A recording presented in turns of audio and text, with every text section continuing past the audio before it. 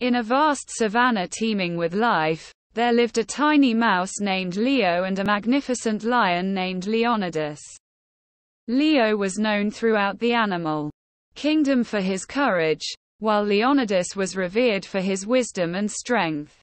One sunny morning, as Leo was exploring near the lion's den, he accidentally found himself face to face with the fearsome Leonidas.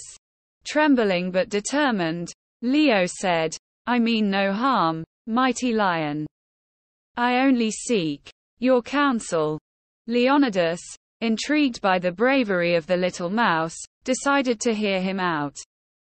Leo explained that a great drought had struck the savannah, and the smaller animals were suffering due to the lack of water.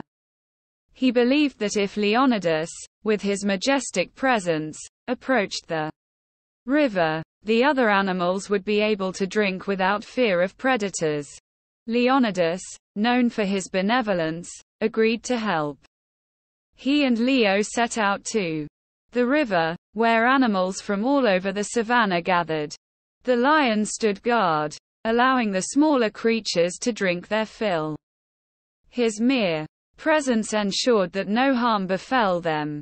Days turned into weeks, and as Leonidas continued to protect the animals, he discovered that he enjoyed their company. He learned about their struggles and joys, and he realized that wisdom could be found in the smallest of creatures.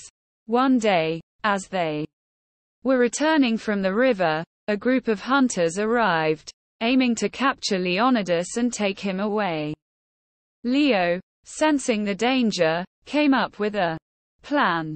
He scurried up a nearby tree and bit a vine, causing a cascade of thorns to rain down upon the hunters. Startled and injured, the hunters fled, leaving Leonidas unharmed. He looked at Leo with gratitude and said, You, my small friend, have not only saved my life but taught me the value of courage and resourcefulness. From that day on, Leo and Leonidas became the best of friends.